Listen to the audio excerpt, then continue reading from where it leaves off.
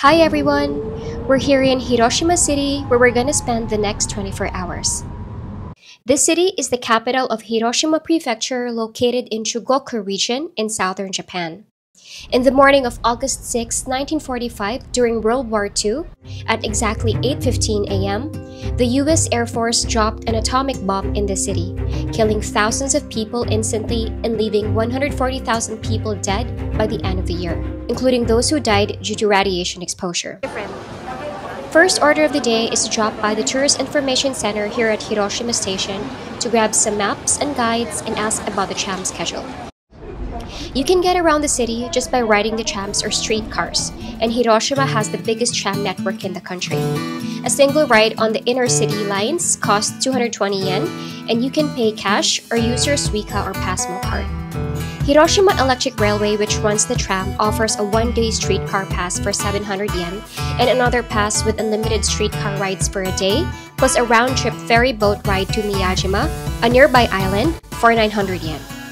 Alternatively, you can ride the JR1 Hiroshima Sightseeing Loop buses, also known as Meipurupu, to get to the attractions. Didn't you know that four trams survived the atomic bomb?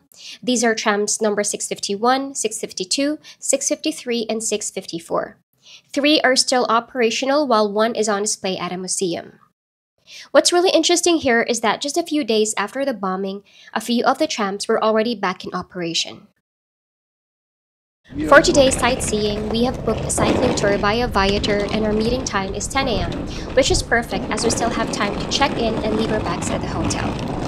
We're staying at Capsule Hotel Cube Hiroshima, which is a 7-minute tram ride from the station. We booked this on booking.com and paid 13,500 yen for 3 people, or 1,679 pesos per person. Front fourth floor. The tour's meeting place is at a cafe, which is a 12-minute walk from the hotel. When you book a bike tour on Viator, you need to write down your height so they can get a bike that fits you. Unfortunately, the seat of the bike that my friend got couldn't be adjusted and it was too high for her, so she couldn't join us at every point of the tour and just met us at the Peace Park. Viator was quick to refund her booking though. The cost of the tour is $69 or 3,500 per person. It's slightly over our budget, but it's worth it. You will learn a lot in just 3 hours, which is perfect if you have limited time. Biking around Hiroshima is not at all scary. We mostly pass through the inner streets and as in every corner of Japan, everyone follows traffic rules. Yeah? The worst bit of the whole tour. Okay. So we survived it. Our first stop is at the Fukuro Machi Elementary School Peace Museum, which is one of the Hibaku buildings in the city, or buildings that survived the atomic bombing. Located just 460 meters from the hypocenter, the school was badly damaged and only the outer walls of the west building were left. All the students who were at the school when the bomb was dropped instantly died. And in the year 2000, messages on the wall written by people who sought refuge in this place were discovered. Visitors are given these tiny paper crane origami as souvenirs. Unfortunately, I forgot to take photos while in the museum. We briefly stopped at the former Bank of Japan branch here in Hiroshima, located just 380 meters from the hypocenter. Lindsay said that there were 20 staff working here on the day of the bombing, and all of them were killed. But just two days after the bombing, this branch reopened for cash withdrawals and served as a temporary area for other financial institutions whose offices were damaged. We're headed towards the Hiroshima Peace Memorial Park, which is home to various museums and monuments dedicated to the victims of the atomic bomb and is a place to learn about the cruelty and realities of nuclear warfare and how important it is to eliminate nuclear weapons and protect peace. I just wanted to uh, bring you guys to the tail end here because I think this clock is really cool. So if you want to check it out with me. This is the Peace Watch Tower, which is inside the Peace Memorial Museum. Apart from the usual clock, you will see two digital clocks. The upper one shows the number of days since Hiroshima was bombed, and the lower one shows the number of days since the last nuclear test was done. The bike tour doesn't include entrance and a tour inside the Peace Memorial Museum, so we will need to go back here after the bike tour is over. This arch is the cenotaph for the victims of the atomic bomb, which was built in 1952. Underneath it is a stone that serves as a registry for those who died during and after the bombing.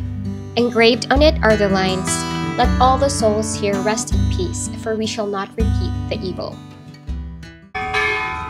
This is the Children's Peace Monument, which was built to remember children who died from the bombing, particularly Sadako Sasaki, a young girl who contracted leukemia after getting exposed to radiation and died 10 years after. Around it are colorful exhibits of paper cranes.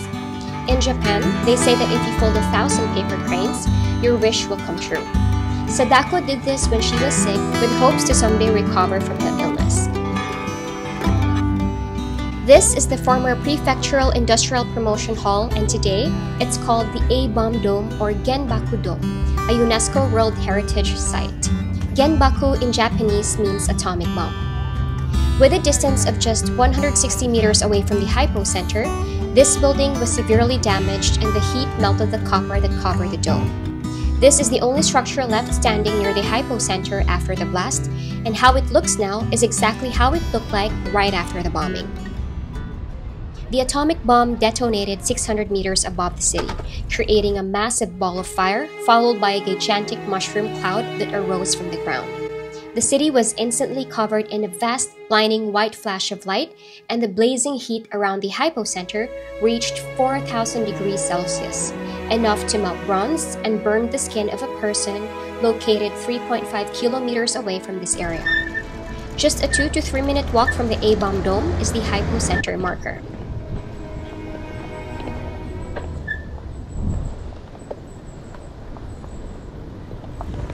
Now, it's time to explore other points of interest in the city.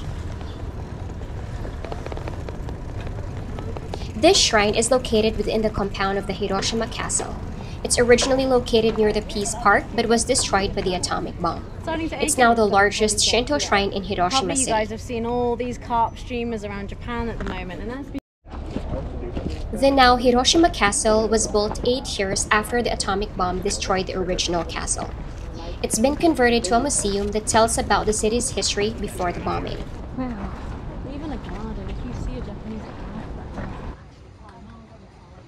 This beautiful Japanese garden is a famous sightseeing spot here, visited by 250,000 people per year. It was built in 1620 as a garden for the villa of Lord Asano Nagaakira, who was then the daimyo in Hiroshima. Shukkeien Garden is the last in our tour itinerary, so let's return the bike and go back to the Peace Memorial Museum. The Peace Memorial Museum accounts what exactly happened on the day of the bombing and where you will really get a grasp of the horrors of that day. I have to warn you that the images you will see and the stories you will read here are not meant for the faint hearted. They're about people who died on the spot from the bombing, or who were severely injured and burned, people who were displaced and lost loved ones, and many others. You will also see exhibits of the victims' personal belongings, watch video testimonies of some survivors, and learn other topics related to atomic bomb and peace preservation. There's a new day to leave behind your troubles.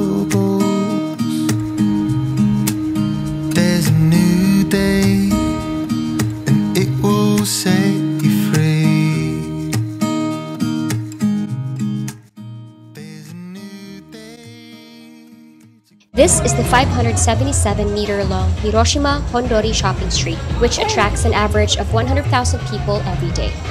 The west end of the street is very close to the dome. Hiroshima is known for okonomiyaki, a Japanese pancake with a variety of ingredients. It literally means grill as you like, and there are two best variants of this dish in Japan the Osaka version and the Hiroshima version.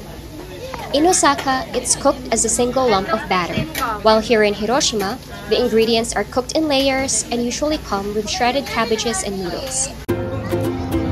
We're here at Okonomimura, which means Okonomiyaki Village, a very popular okonomiyaki themed food place. It's a four story building full of okonomiyaki stalls. We found a space at Ron Okonomiyaki, a stall located at the fourth floor. We haven't had a decent meal since arriving in Hiroshima, so we decided to spend a little more here. We ordered three okonomiyaki, two servings of potato salad, and three drinks. Our total bill is 6,810 yen, or 850 pesos per person. This is not bad considering the amount of food we ate.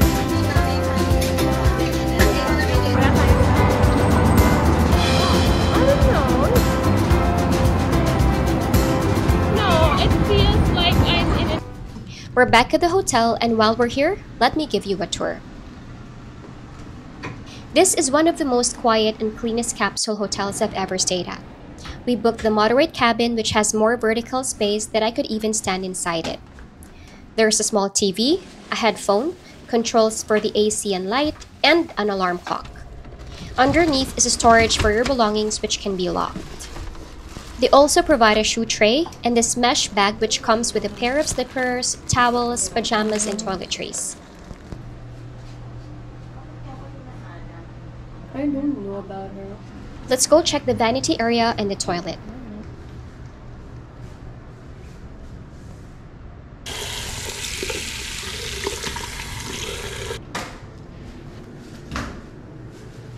Everything here is just clean and in order, and the toilet is spotless as well.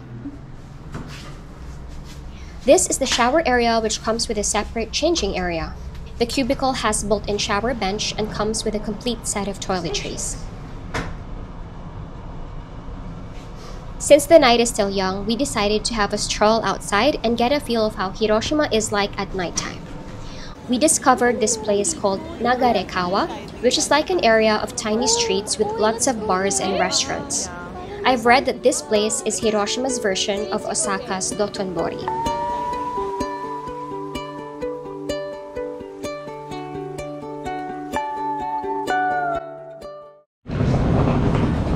We're back in the tram and now headed to the train station.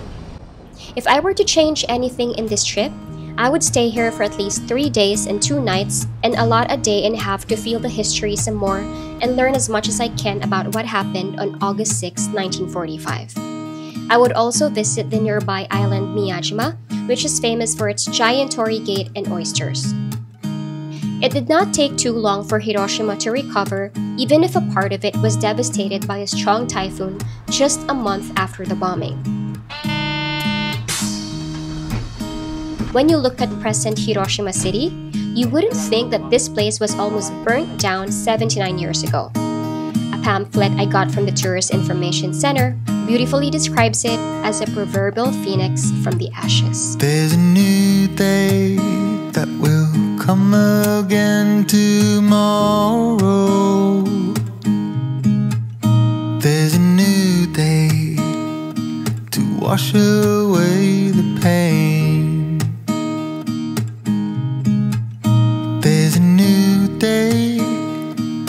Take away your sorrow and the old ways get washed out by.